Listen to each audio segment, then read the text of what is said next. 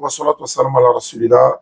Je vous passe cette information de taille. Inch'Allah, le samedi 17 février, vous êtes tous invités dans cette salle que vous voyez là pour, n'est-ce pas, un grand débat qui aura lieu, Inch'Allah, le samedi 17 février de 20h à 22h avec le pasteur Yannick Mozuya. Et également le pasteur Trabi que vous voyez l'image ici seront là en face de la DDR, Ismaël Aka et Oussaz Ibrahim Delabagoué de 20h à 22h au complexe sportif Dominique Ouattara d'Adjamé ce samedi. Vous êtes tous invités, Inch'Allah. Infoline, voici le numéro qui passe au débat de l'écran.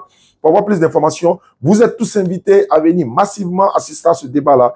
Passe le message à ton voisin, Inch'Allah. Et la salle qui est là, c'est dans cette salle-là que le débat aura lieu, Inch'Allah. Merci à la commune d'Adjamé. Merci à monsieur le maire Farikou Soumaoro. Merci beaucoup, monsieur le maire. Et c'est sous le parrainage de monsieur le maire de la commune d'Adjamé qui a bien voulu, n'est-ce pas, accepter d'offrir cette salle-là à la jeunesse musulmane et non musulmane de la commune d'Adjamé pour venir, n'est-ce pas, assister à ce débat.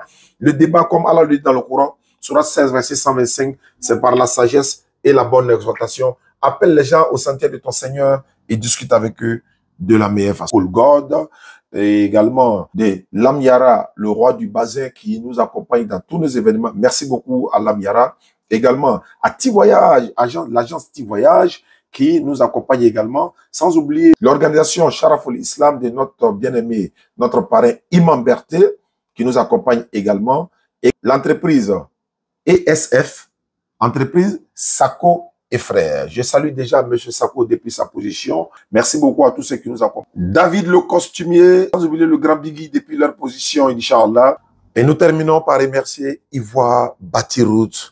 Merci beaucoup à vous, grand frère. Qu'Allah vous récompense. Wassalamu alaikum wa rahmatullahi wa barakatuh.